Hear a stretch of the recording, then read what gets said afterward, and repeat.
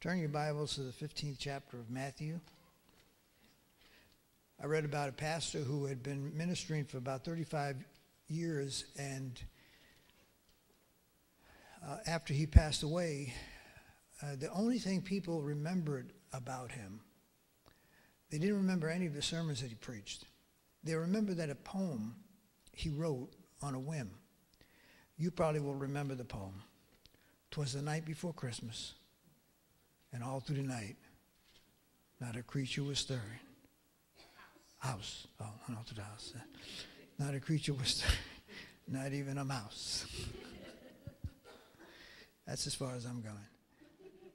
We remember, imagine that, remember spending all those years, in fact, even writing books and uh, ministering week after week, but he was remembered for a poem that he wrote.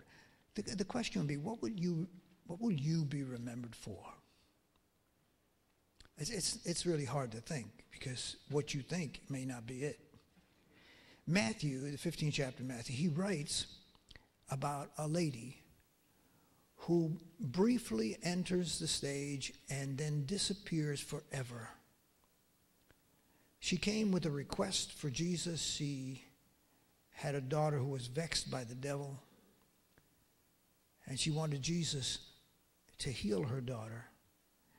And she became known and is still known as the woman who would not take no for an answer. You could not discourage this lady. Let's take a look at it, Matthew 15th chapter. Then Jesus went out from there and departed to the region of Tyre and Sidon. And behold, a woman of Canaan came from that region. We're not even told what town she came from, just that region, and cried out to him, saying, Have mercy on me, O Lord, son of David. My daughter is severely demon possessed. But Jesus answered her not a word. That is highly char- uncharacteristic of Jesus, who is known as a man of compassion. And yet, it says he didn't answer one word. You would have expected Jesus to say something. A lot of people wear these little bracelets that, what would Jesus do? They would never guess this. Who would have ever expected Jesus not to answer a woman who was pleading for her daughter's uh, healing? But it was a test. It was a test. You can't tell at the very beginning, but it was a test. In fact, most of the times, the tests that we're put through, we don't, we don't know at the beginning. It's not till later on we look back that we realize that, that we've just been through a test. Matthew introduces her to us as a woman who came to Jesus because she had a great need and Jesus doesn't answer her. He said, Well, what does that have to do with me? Plenty. Have you ever asked God for anything and got silence? Have you ever, have you ever come to, into the presence of the Lord and said, Lord, I, I just need some help here. And it's just this area that I'd like you to focus your attention on it because there's a, an emergency brewing right now and I got a crisis. Would you, and nothing. Nothing. The heavens are silent. You came humbly. You came respectfully. But you got nothing. Anybody here ever pray and it seemed like the, the heavens are brass eh, and you didn't get any answer from the Lord? And, and you, you believe because you went to the church and, the, and the preacher said that the Lord answers prayer, but, you, but your prayer wasn't answered. You cast all of your cares on Him and you got no answer and you're left handling this silent treatment. Silence. How do you handle the silent treatment? Every one of us is going to be in a situation where we've got to. How do you do it? Typically, what happens is this we, we are handling God's silence, and we think, immediately, we think, well, it must be because God's angry with me. He, he didn't answer because he's upset. He, he didn't answer because he doesn't care. He didn't answer me because I must have done something wrong. And the devil loves you to think the thought you must have done something wrong because he'll come right along and explain all the things you did wrong. And it doesn't take a whole lot of thinking to figure out I must have done something wrong for this pay, payoff. And since, since God's not answering, it's attached to something that I did wrong. Everybody has done something wrong, so everybody can come to the same conclusion God's not answering me because I did something wrong. And all the while, it was a test. All the while, we're putting our energy in, there must be something wrong, and we start to connect the dots. Well, that, that day I did this, and then I did that, and, then, and now God's not answering our prayer, so I say, it must be me. Anybody ever done that? The silent treatment. We don't know how to handle the silent treatment. But it was a test. Now, this story gets worse. I mean, this is just the beginning of the story. But he answered her not a word. Then we read this. And his disciples came and urged him, saying, Send her away, for she cries out after us. You could read that text over and over again. I'm going to share with you something that you're not going to find in there. You're not going to find anything in there where she cried after them. She has nothing to say to them. She was just talking to the Lord. But the disciples have a problem with her. They have a problem with her and asking Jesus to send her away because she's crying. She's not crying after them. She's crying after the Lord. But I want you to notice something. It's important here. There are times when you, you come to the Lord and you ask the Lord, you want something from the Lord, and you end up running into some of God's kids that may not be the best examples of God's kids. Why were these disciples so ornery and so mean spirited when it came to this lady? Could be because she was a Canaanite, she was a foreigner, she wasn't a Jew. And so they pull out the race card. I mean, we're talking about the church, we're talking about God's kids. And I got to thinking that whenever you come to Jesus, it's never Jesus and you. Oh, we, we would like to think it's just, just me and you, Jesus, and I'm bringing my request to you, and I need an answer for my prayer. The, the truth of the matter is, it's Jesus, you, and God's kids. And some of God's kids. Shall we talk about some of God's kids? Some of God's kids don't like you. Is that a surprise? And we're going to have to deal with the fact that some of God's kids may not like you. And you got to deal with the reality that there are God's kids in the mix. And just because you come into Jesus doesn't mean you're going to not run into one of God's kids that may not appreciate who. How? Here's the question: How badly? Here, here it is. How badly do you need what Jesus has? Because if you badly need what Jesus has, and you're going to let some harebrained saint keep you from getting to Jesus, then you don't need it bad enough. How badly do you need your job? Do you need it badly enough to put up with some cranky boss? How badly do you need that welfare check? Do you need the welfare check badly enough to put up with a rude social worker? Did you know that 250,000 Americans every week quit their jobs because somebody said and somebody did, and they're not putting up with this anymore, and out they go? Because this is a bad season for people to be doing things like that. But 250, and that doesn't count the people who think about wanting to quit. But 250,000 people every year quit the job because somebody, they, if, if you want something bad enough, you will put up with stuff in order to get it. If you want what Jesus has, this is real practical. If you want what Jesus has, sometimes you're going to run into one of his kids that got a mean spirit. One of his kids is dysfunctional. One of his kids don't see it your way. One of his kids is too pushy. One of his kids is too opinionated. If you want what Jesus has and you're willing to go through what it is that his kids do, you will get what it is a test. It's a test. We need to learn how to put up with the silent treatment, the times when God doesn't answer us like we want Him to answer us. We have to learn how to put up with the cold shoulder when people don't act or behave the way we would like God's kids to act or behave. And that's what this woman does. She, she puts up with the silent treatment that Jesus gives. She puts up with the cold shoulder that the disciples are giving her. So, so, sometimes you, so, you know what? It could be. It could be that the person that you're having trouble with is the person that's actually keeping you from getting what Jesus wants to give you. God anointed David to become the next king of Israel. But David had to deal with a scallywag, King Saul. Had to deal with him. And if he wasn't willing to deal with him, he would never become the king. Sometimes we've got to put up with stuff in order to get the promises that God wants to give us. How, the question is, how badly do you want what you say Jesus has to give you? That's the question. And we got to think about it sometimes. Lord, do, do I want this thing bad enough to overlook what that person said? Do I want this thing bad enough to overlook that attitude that that other person? Do I want this thing bad enough?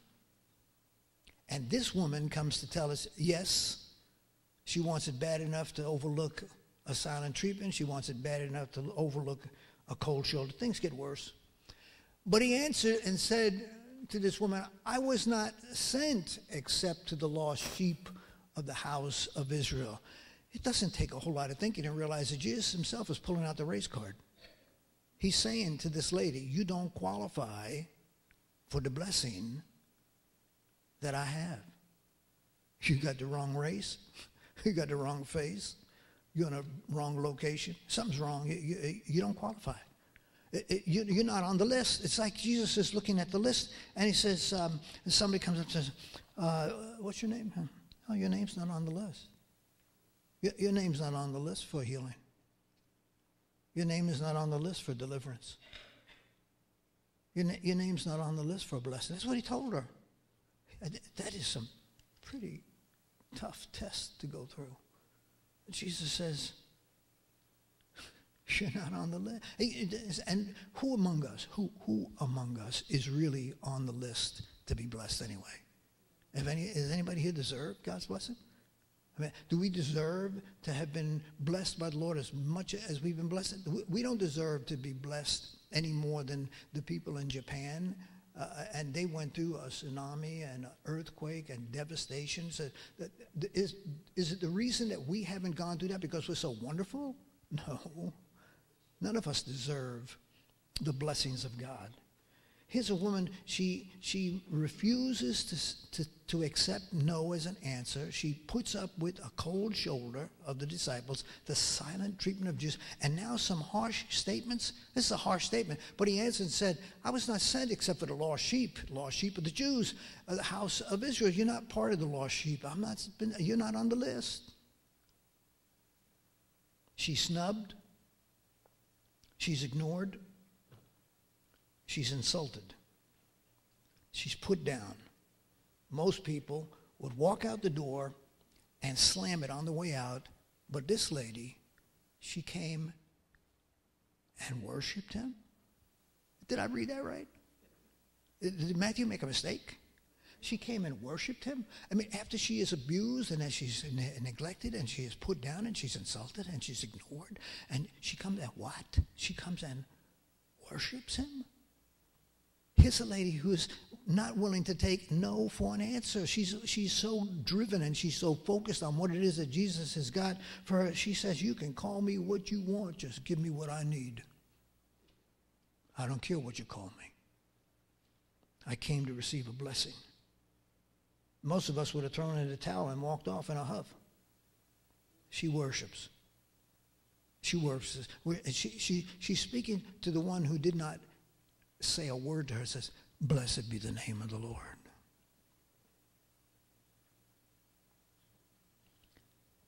But he answered and said, It is not good to take the children's bread and throw it to the little dogs. this is a tough passage. This is an insult dogs in those days were associated with the, with the Gentiles. Gentiles were dogs. I, I, I got there's some things in Scripture that there's just no way I could say it, but I'm not going to be able to communicate it properly to you unless I demonstrate it. So, so I'm going to demonstrate it. I will now be the Iron Chef on on the Food Channel. Jesus starts talking to her about bread. And he says, It's not good to take the bread that belongs to the children and give it to the dogs. Wow. that is, that, it, it, that's why I say when people wear these bracelets, say, what would Jesus do? We'd never think Jesus would do a thing like that. This lady is put under an incredible test. I wonder if the test that she's being put under is a test that we might be put under. That God might come along sometime and be silent to a request that you have. And one of God's kids might come along and give you the cold shoulder. But you are so determined and so focused, you are going to persevere. You're going to get what it is that God promises to give you, even if you're last in line. So here's this lady. She she is told she's given this insult, and and what I wanted to do is I wanted to demonstrate the making of bread. I'm going to bring some elements out here. To make bread, you need salt. Not all that, but you need salt. To make bread, you need vegetable oil. Got to have that. To make bread, you need flour. I got some flour put in there. To make bread, you need yeast. To make bread, you need a little sugar. A little sugar.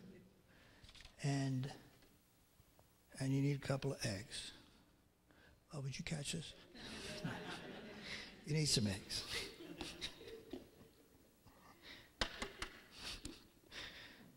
I was smart enough to make them hard boiled. you make the eggs, you get all this stuff here and you mix it all up together. You got to mix it up. This is the point. I've said all of that to say this. And she said, Lord, yet even the little dogs eat the crumbs which fall from their master's table. She, what a remarkable statement.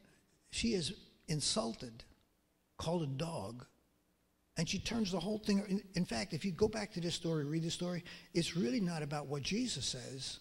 It's really about what this lady is saying. She is incredible. She's the only lady in the Bible that surprises God. Shocked God, because is, later says, Wow, I haven't seen faith in all Israel, just like you. And so she said, Let me read it again. She said, Yes, Lord. Yes, yes, yes, you're right. You're right. The, the bread does belong to the children. But the little dogs eat the crumbs which fall from their master's table. Now, I want to say something. Well, first, you know, this is the bread. We go through the process of the bread, then you got to mix it and mix it in real good. Everything is all mixed up. Finally, you got the bread.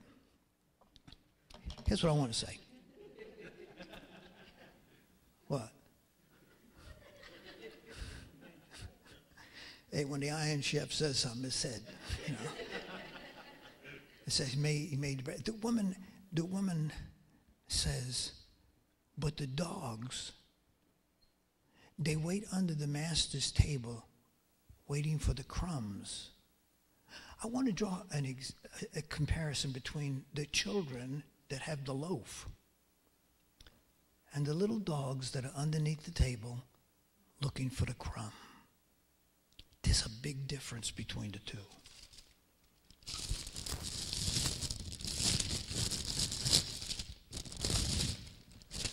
Hear all that noise?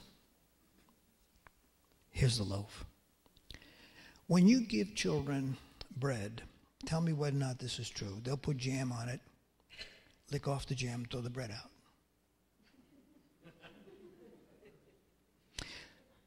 I would also say this that when you give children bread, oftentimes what they do is they eat all of the center and they throw the rest out. But if you give a dog a crumb, has there ever, ever been a dog that refused a crumb? We got God's kids who have the loaf, all of it, and waste it. And we got dogs that are just waiting for any crumb that will come their way and they'll eat it. But the point that I want to make this morning is this. When you mix all of these elements, I'm going go over it again. You got the vegetable oil, you got the salt, you got the eggs, you got the flour, you got the yeast, you got the sugar. You mix it all together. Mix it all. I didn't bring the water. You got to mix it all, all up together. You mix it until it the, the, all of the ingredients have permeated all of the, the dough, and you put it in the oven, and out comes this bread. And if, let me, let me just take a little piece of this bread here. There's this little crumb here. That's a crumb. Here's the point. If there is oil in the loaf, there is oil in the crumb. If there's flour in the loaf, there's flour in the crumb. If there's yeast in the loaf, there's yeast in the crumb. Whatever you put in the loaf is in the crumb. And this lady says, I'm willing to be last in line. I'm willing to get under the table. And I'm willing to wait for one crumb. Because I know that if there's a miracle in the loaf, there'll be a miracle in the crumb. I know that if there is power in the loaf, there'll be power in that crumb. I know that if there's wisdom in the loaf, there'll be wisdom in the crumb. If there's healing in the loaf, there'll be healing in the crumb. If there's deliverance in the loaf, there'll be deliverance in the crumb. If there's forgiveness in the loaf, there's forgiveness in the crumb. Maybe sometimes what we need to do is just stand before God and say, Lord, I'm willing to be last in line and get under the table and wait for a crumb. It's just the crumb. All, all, all I need is, all I need is, you know, all, all the woman who had the issue of blood needed was one little touch. All the dying thief needed was just one little crumb. He said, Lord, remember me when you get into your kingdom. And Jesus gave him the crumb.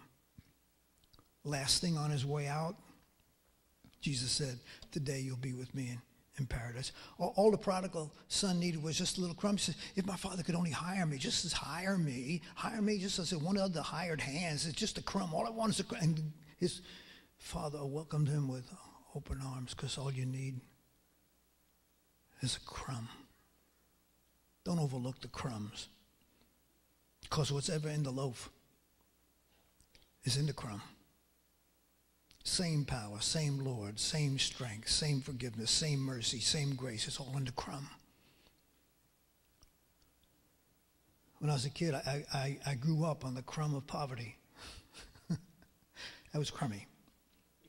And uh, when finally I, I, got a job, it was a crummy job. Uh, and I got a crummy paycheck. And I got a crummy paycheck for a long time. But I'm going to tell you something. That crummy job and that crummy paycheck took me from there to here.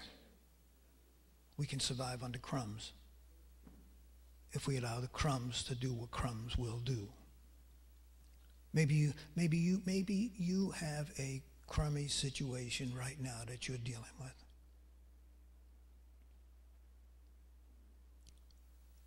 Maybe, maybe it's, it's, it's a crummy set of circumstances. Maybe you wish it had been different, but it's not, and you got a crummy opportunity. It's not much. It's crummy. If you're willing to do what this lady does, you'll be first in line. She worshiped him. I don't care what you call me, I'm going to worship you. It's like Job. Though God slay me, yet will I trust him. The Lord gives, the Lord takes. Blessed be the name of the Lord. I don't care what you call me. I don't care what you say. Blessed be the name of the Lord. I don't care what happens. I don't care what comes. I don't care what goes. I don't care what's going on. I'm going to bless the Lord. Some people are born with a silver spoon in their mouth. That's wonderful. I was born with plastic. You know, that's just the way it was. But I'm here to tell you that God can take a crummy situation and turn it into an ideal situation if you just worship Him.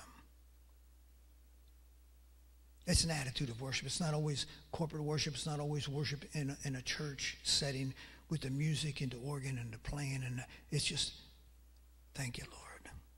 It's another day. I want to thank you because when I breathed this morning, I realized I was alive. I'm going to seize the day. I want to thank you for those you've put into my life and th- those around me. I want to thank you.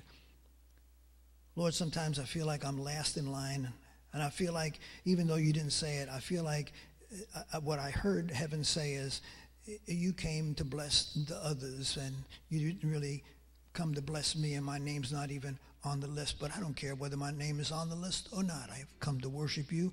I've come to praise you. I've come to lift up your name. I've come to thank you. I'm not thanking you because my name's on the list. I'm thanking because you're on the list. I want to thank you because you're the Lord. You're the King. You're the Redeemer. You're my Savior. You're the bread of life. You're the living water.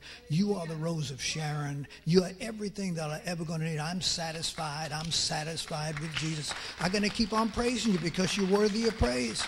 It doesn't matter what people are saying. It doesn't matter what's happening out there. I just know that I'm going to be praising the Lord. I've come, I've just come to worship you, Lord. I want you to sing.